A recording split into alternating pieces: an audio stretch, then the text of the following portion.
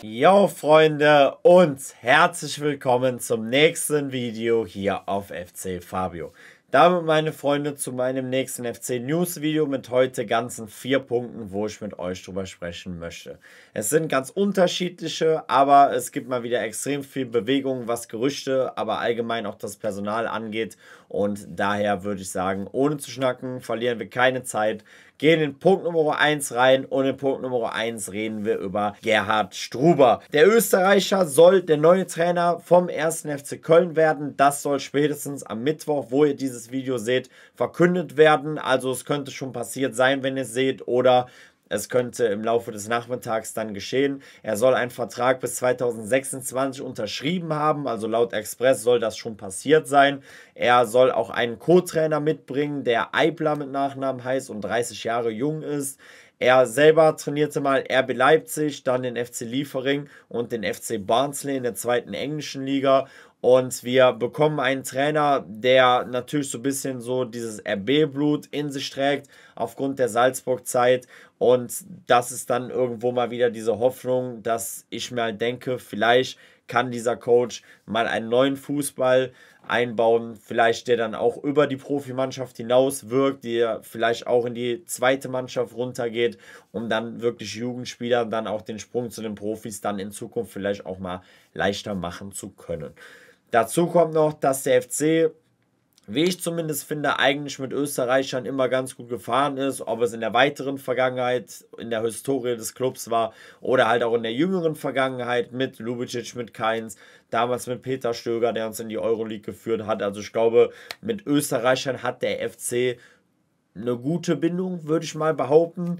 Und natürlich ist Gerhard Struber so ein bisschen so eine Wundertüte, aber genau das war ja eigentlich auch zu erwarten, dass sowas zum FC kommt, weil aufgrund der Situation, man weiß noch bei dem einen oder anderen Spieler nicht, wie es weitergeht, auch wenn mittlerweile sich einige zu uns bekannt haben.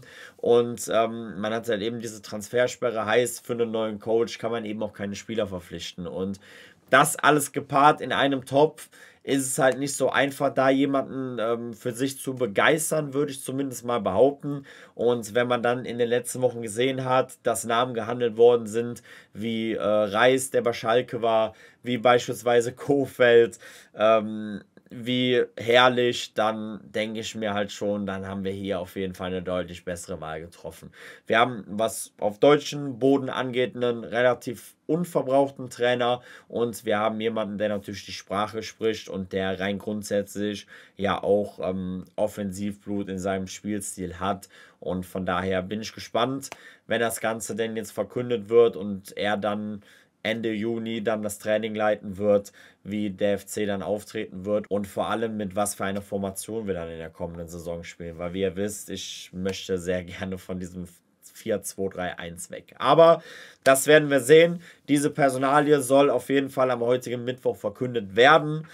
Wenn es dann soweit ist, dann lassen wir den Herrn herzlich willkommen und ähm, ja, ich muss sagen, irgendwo unterm Strich freue ich mich dann auf jeden Fall. Und von Gerd Struber gehen wir rüber zu Punkt Nummer 2 und auch hier geht es um einen Österreicher und es soll um Florian Kainz gehen. Unser Kapitän der abgelaufenen Saison wird aller Voraussicht nach es den bisher verbliebenen Spielern nachmachen und ebenso beim 1. FC Köln bleiben.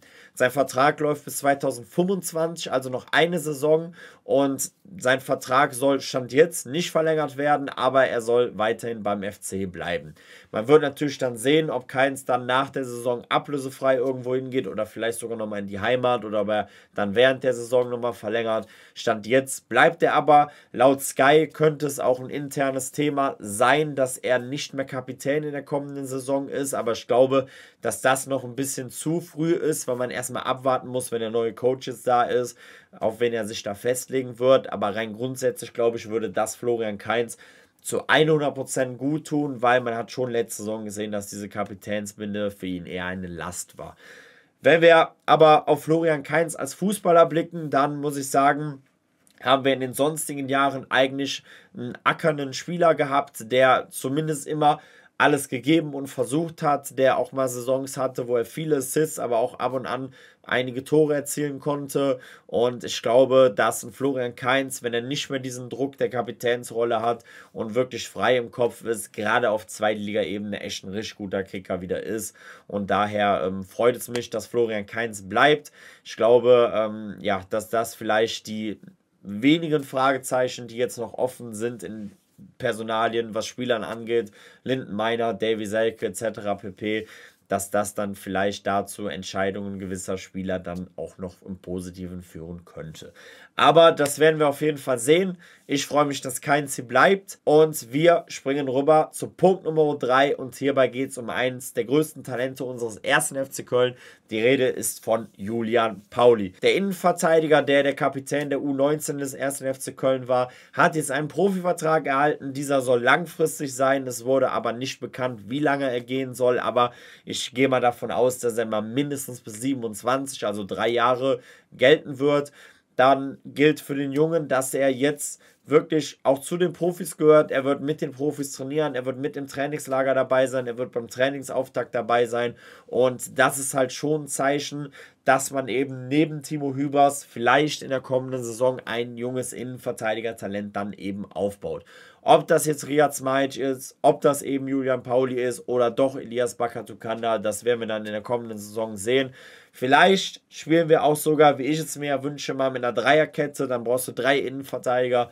Vielleicht würden dann sogar zwei von den genannten Jungs eine Chance bekommen.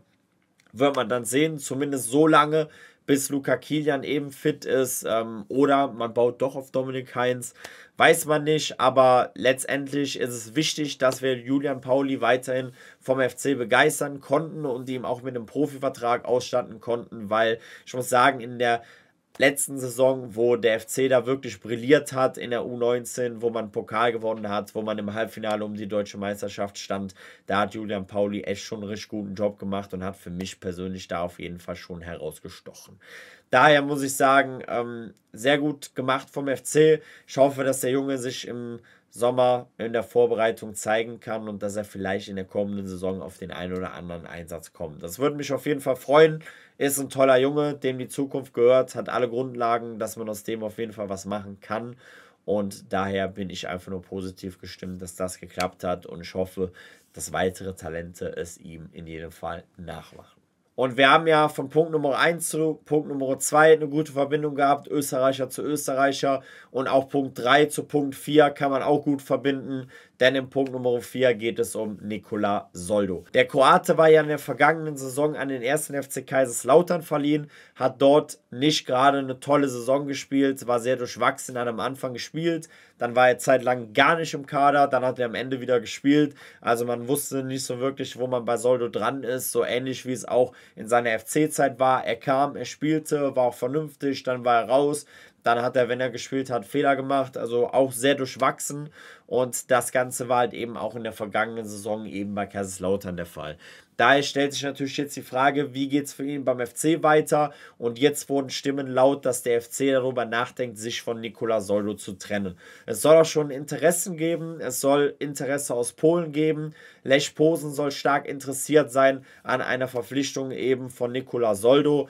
Und ich denke, dass das vielleicht kein schlechter Schritt auf jeden Fall für Nikola Soldo wäre, weil ich glaube, die polnische Liga, da kann man sich auch ganz gut entwickeln und das ist jetzt auch nicht das allerschlechteste Niveau, aber schon ein Niveau, wo Soldo auf jeden Fall eventuell zum Stammspieler werden könnte und das tut ihm, glaube ich, für seine Entwicklung ganz gut und ähm, das gibt ihm dann auch mehr Spaß im Fußball, weil ich schon glaube, wenn er jetzt zum FC zurückkäme, dass er auch dann beim FC wieder den kürzeren zieht und auch dann wieder wenig bis gar nicht spielt. Und das kann eben nicht Sinn der Sache sein.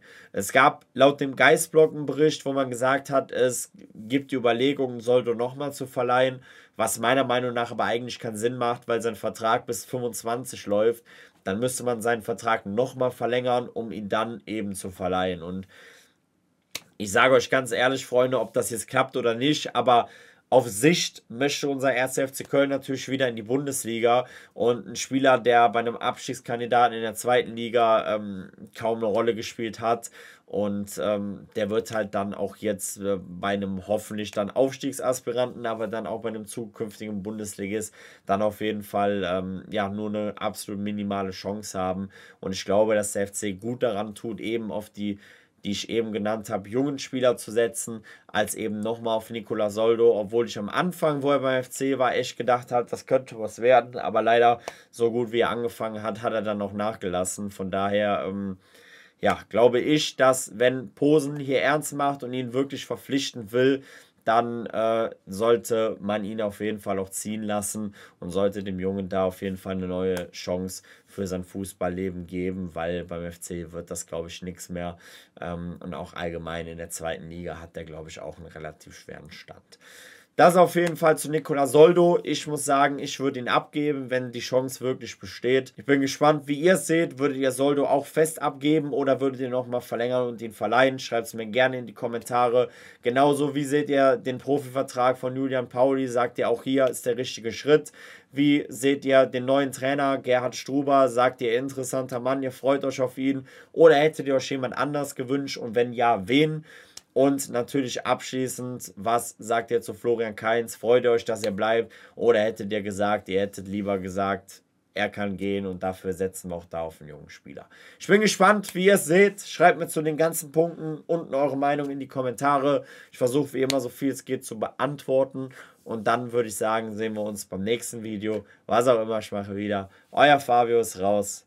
Haut da rein und ciao.